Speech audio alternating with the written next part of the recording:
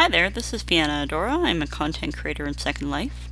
Um, I've been in Second Life with my brand Enchant 3D since about 2007. Uh, I am also a student and volunteer at the Ditko University in Second Life. I've been studying there for about seven months, taking a variety of courses in Blender and other content creation software specific to Second Life. Um, more recently, we've been uh, taking uh, Marvelous Designer classes, which I'm going to demonstrate a little bit for you today. Um, Haven's currently teaching a workflow on converting tris to quads as part of the process for uh, preparing uh, Marvelous Designer models for um, import into Second Life. Um, and uh, I don't have Maya and I won't be able to afford Maya anytime in the near future, but I do have ZBrush, and ZBrush has a similar tool um, that you can use for uh, doing that. Uh, and I'm going to show you my workflow for that today. So we're going to start off by going pattern, grid, activate grid to make the grid a little snappy. I'm going to use the edit polygon tool and start about here. I'm going to draw out the panel for my skirt, one half of it, and I'm going to draw out a second panel for my ruffle. I'm going to switch to the edit pattern tool right click unfold, select this line, right click unfold.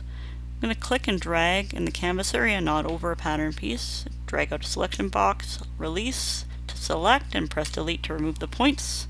I'm going to zoom out and pan over a little bit. Use the pattern transform tool. I'm going to shift click both of them, control C to copy, control V to paste. And hold shift to constrain it on this axis and left click to drop it. I'm going to press the synchronize tool and you can see that my panels appeared there. Now if you can imagine that this was the front of the fabric, I'd want to sew this edge to this edge and then this edge, you can imagine, would wrap around behind the avatar and reattach on this side. So that's how we're going to sew it in the pattern window. I'm going to choose the sewing segment tool. I'm going to sew the inside edges and I'm going to take the far right edge and sew it over to the far left edge. And again here, I'm going to click the inside edges. I'm going to take the far right edge and sew it over to the far left edge. And then finally I'm going to sew the skirt to the ruffle. Okay, now I'm going to go back to the pattern transform tool. I'm going to select all four pieces of my pattern. Um, now I want to move it away from the avatar, but I don't like this gizmo, so I'm going to go up to Environment, Gizmo, World Coordinate Gizmo, and that gives me a gizmo that's much more like the one we have in Second Life. I'm going to move these pattern pieces away. I'm going to choose show arrangement points. Now I want to know that these arrangement points don't come with the Second Life avatar. Um, you have to create them or import them in um, from another file source. Um, Haven is teaching a uh, Marvelous Designer Setup class where you can learn all about that, so I definitely recommend uh, you looking it up in the class schedule, as well as um, a variety of other Marvelous Designer Techniques courses and project courses are available um, ongoing all the time. And so now, what I want to do is I want to choose my pattern transform tool, and I'm going to select my front ruffle, and I'm going to want to click this dot because it's the last dot before these two split into pairs, or into left and right. I'm going to click that dot there, select the back ruffle piece, and I'm going to pick the same dot on the opposite side so they line up. In the pattern window I'm going to shift click so that I have them both selected and then I'm going to use the gizmo to pull them down to about mid-thigh. I'm going to grab the front panel piece and I'm going to choose the dot in the very center in the in the center kind of midsection here because it's a bit of a high-waisted skirt. Same thing with the back panel piece and I'm going to choose the equivalent dot on the back side. Now I think that I'm going to pull the ruffle up a little bit so it's a little closer. Whoops. I accidentally rotated it there. We'll try that again. Pull that up. And that looks ready. I'm going to turn off my arrangement points because I don't need them anymore. And I'm going to press the simulate button. And voila, we have a very nice, simple ruffle skirt.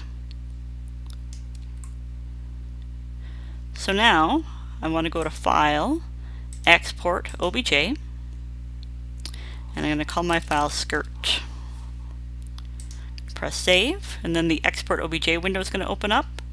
you're going to see here that you're going to have your four pattern pieces and you're also going to have your avatar shape. I'm going to get you to uncheck avatar shape.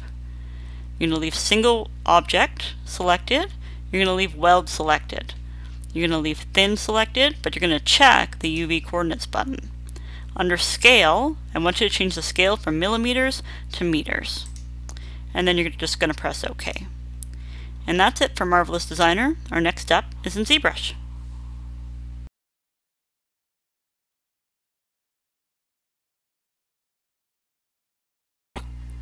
Okay, so now we're in ZBrush. I'm going to press the um, comma to remove the light box. I'm going to select Import.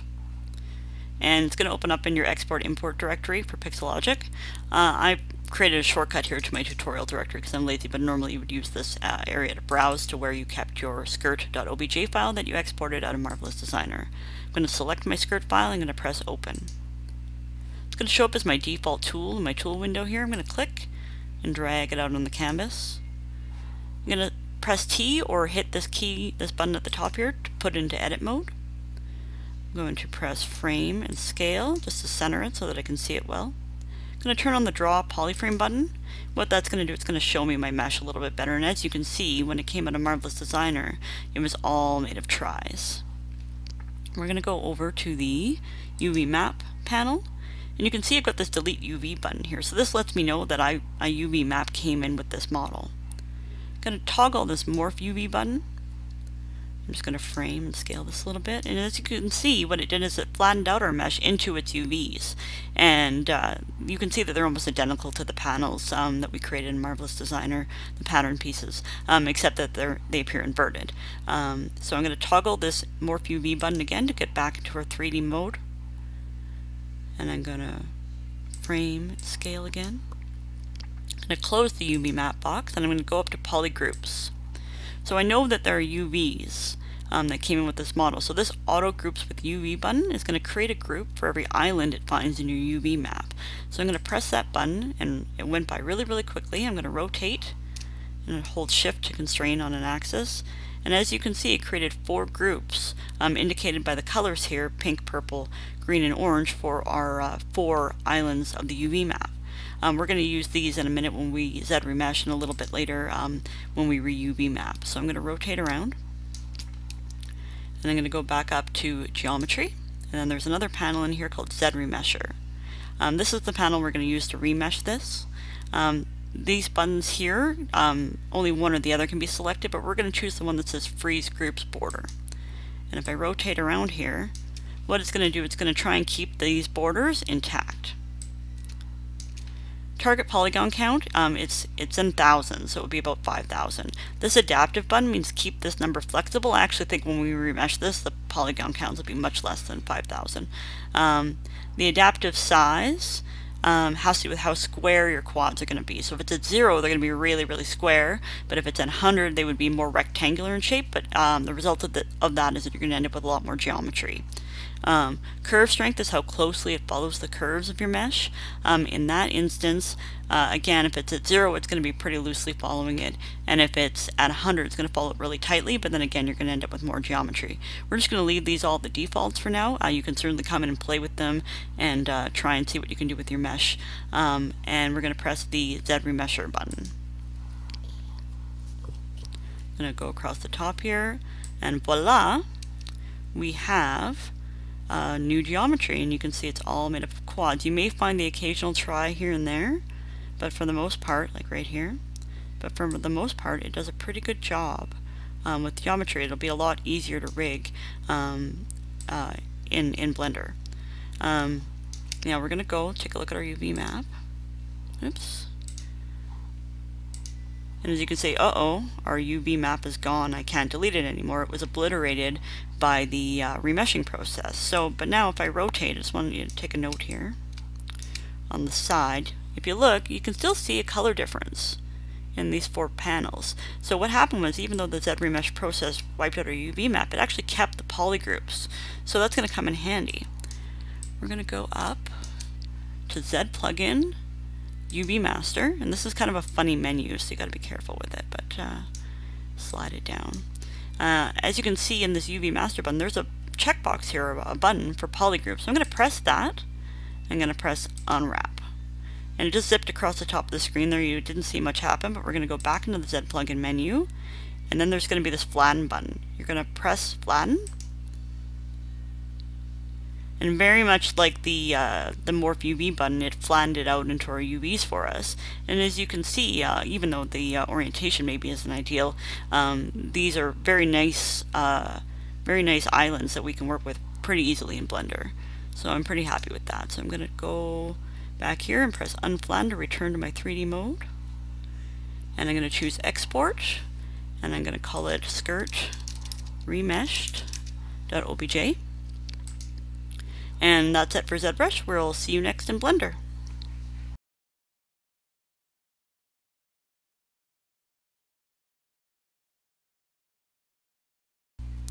Okay, so now we're in Blender. I've got my Second Life Avastar character loaded here and I'm in front ortho view. I'm going to go to File, Import, Wavefront OBJ, and I'm going to browse to where I saved my skirt underscore remesh.obj. I'm going to select it, and I'm going to scroll down here and look at the import obj panel. I'm going to uncheck this group. If I left this group checked, the four polygroups that we created in ZBrush would be honored and it would import it as four separate objects. This may come in handy sometimes uh, if you want to uh, hand group um, your meshes and then uh, set their UVs uh, in a certain way. So keep that in mind that you could use that in, in certain circumstances. But for right now, I just really want um, one welded object. So I'm going to uncheck that and press Import OBJ. And as you can see, it brought the skirt in, fitted perfectly to our Second Life Avastar, um, as we uh, pretty much as we designed it in uh, Marvelous Designer. Uh, while I'm in object mode, I'm going to select it. I'm going to just press smooth so you can take a look at how it looks with the smooth on. And then we're going to switch it into edit mode. You can take a look at the mesh. And we're going to switch it to the UV image editor. I'm going to drag out a second window and I'm going to switch this one back to 3D view and just because I'm going to want access to this panel in a little bit. I'm going to hover my mouse in the UV area. I'm going to press A on my keyboard to select all and I'm going to press Control P to pack. Now down here in this panel for Pack Islands, I'm going to set the margin to 0.06, which is the default we use for Second Life. And usually when I work with my textures, I like to work with them in a kind of a top-down um, pattern, you know, the same way your, your material would go if you're looking at it operating in 3D view. So I'm going to press R for rotate, negative 90, and I'm going to click to accept it. I'm going to press G on my keyboard for grab and press Y to constrain to the Y-axis and move it up until it until the margins at the top and bottom are about even. And I'd say that looks pretty close. And so now if I put a, you know, a texture um, behind here, um, the grain will be going the same way for all the pieces. Um, with this still selected, I'm going to go to UVs, Seams from Islands. And if I rotate my 3D window, you can see now that it's marked seams like you would if you were creating uh, uh, this mesh yourself in Blender. Um, and as well, you know, you can see where your seam lines are going to be.